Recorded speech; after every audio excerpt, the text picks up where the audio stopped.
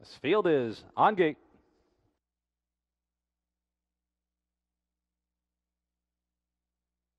They're off. Andrevet in it to win a fortune left for the lead. Coming away in third was Carol's Ideal in four of the ladies, but a good early speed tonight from Andrevet.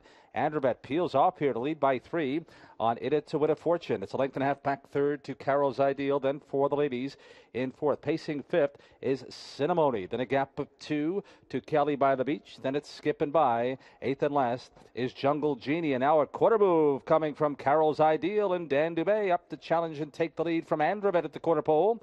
In It to Win a Fortune is third, followed by four the ladies in fourth through an opening quarter, clocked in 28 seconds flat. Cinnamony's fifth and six and a half lengths from the lead, then a gap of two. Galley by the beach. Uh, then comes skipping by, and Jungle Genie can see them all. They pass by us the first time, and Carol's Ideal at even money. Carol's Ideal made the top and leads it by two. Andrevet now sitting the pocket. In third is in it to win a fortune, as for the ladies is about to come to the outside fourth. And Cinnamony goes right with her in fifth. Two and a half back. Sixth is Galley by the Beach. The half mile, 57 seconds. Just a 29 second second quarter. Bringing up the rear are Skipping by and Jungle Genie. They head up the backstretch, all in pursuit of Carol's Ideal. She leads it by a length with Andrevet looming in the pocket on the outside for the ladies in third. Set up second over fourth is Cinnamony, just three lengths from the lead. Down toward the inside, in it to win a fortune is mired in traffic. Down on the inside is Skipping by, side by side there with Galley by the Beach Jungle Genie a non-factor. Three quarters in one, 24 and three, 27 and three, third quarter in the Blue Chip Matchmaker Series. Consolation coming to the top of the stretch, and Carol's Ideal sneaks off the lead, and she leads it now by two and a half. In second is Andrevet, and then in third on the outside for the ladies. Toward the inside is in to win a fortune. And then comes Cinnamony down to the line, and Carol's Ideal was sharp in the consolation. She won it by three and a half. Andrevet second from In It to Win a Fortune in 152 and 1.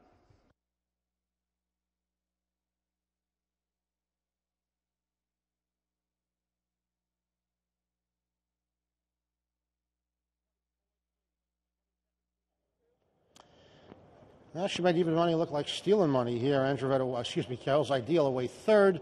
Quarter moves to lead. Andrevet figured to be the first one to the lead. She readily gave it up, but she chased in vain as a uh, 27, uh, excuse me, a 26, no, 27 and three third, uh, fourth quarter gets uh, Carol's Ideal home is much the best in the uh, consolation for yeah, the ladies. It, it, ended up being very logical in the sense that the inside horses uh, were able to control the action early. Uh, Andrevet, you know, unfortunately, just not what she used to be, but still good enough to finish second in the blue chip matchmaker consolation. Carol's Ideal having having come first up in the final last year, uh, makes makes easy work of these. And again, we'll be visited again by Team Allard. Four two three five is unofficial for the ladies. Last for fourth after first up, and it is Carol to prevail. Western Ideal young lady. 12 wins a season to go. This is second and five this time out. Popular dance team this evening. Renee Allard and Cap Singh. Renee Allard and Dan Dubé team up. Series consolation two. Carol's Ideal. We're back.